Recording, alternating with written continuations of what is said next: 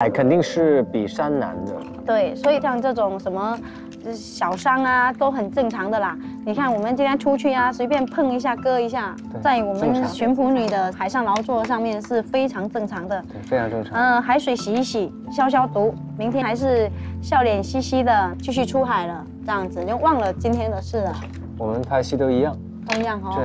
对，对，有时候我工作完，不到洗澡脱衣服那一刻，其实都不知道哪里有问题的。是的，一脱完之后，开始一碰一看，哎呦，哪里受伤了？看到有很多那种划开，但是呢，又觉得有这样的战绩，嗯，就是那一天就充实了，对就肯定有有很卖力的去干活，对呀、那也挺自豪的。嗯，是很自豪。